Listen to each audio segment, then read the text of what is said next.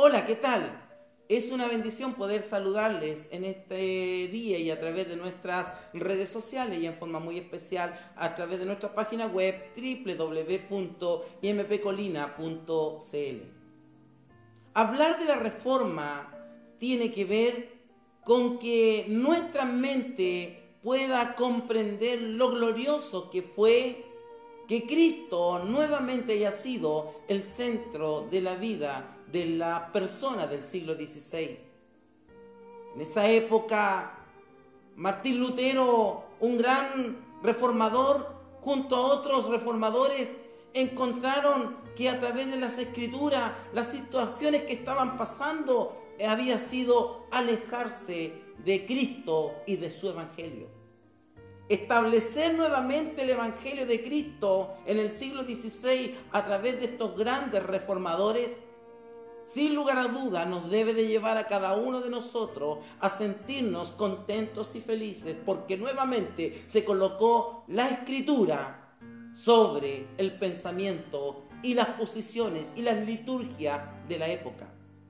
León X había mandado a ciertos representantes por Europa a cobrar fuertes sumas de dinero por la llamada indulgencia. ¿Qué significaba esto?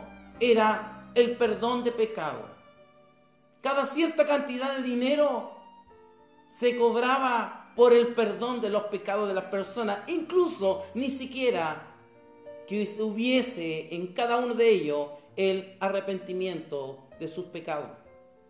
Martín Lutero, estudiando las escrituras, en el 1517, el 31 de octubre, clavó las 95 tesis en la iglesia de Wittenberg, en Alemania.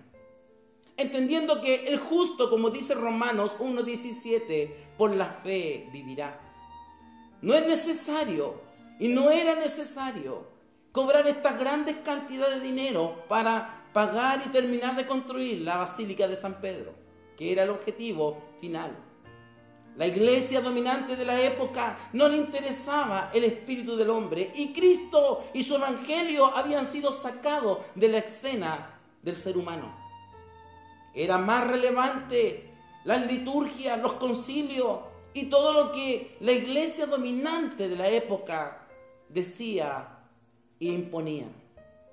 Pero damos gracias al Señor que Dios tomó a estos grandes reformadores, hombres que se levantaron contra la institucionalidad vigente de la época, para poder decir que el justo por la fe en Cristo vivirá.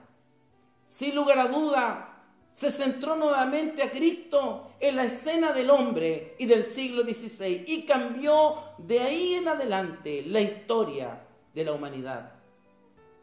Como evangélicos nos sentimos contentos y felices de estar celebrando estos 500 años de la Reforma Protestante. Que también acá Chile nos pudo llegar esta bendición de poder comprender que el hombre debe de menguar y Cristo debe de crecer y de ser el centro del ser humano.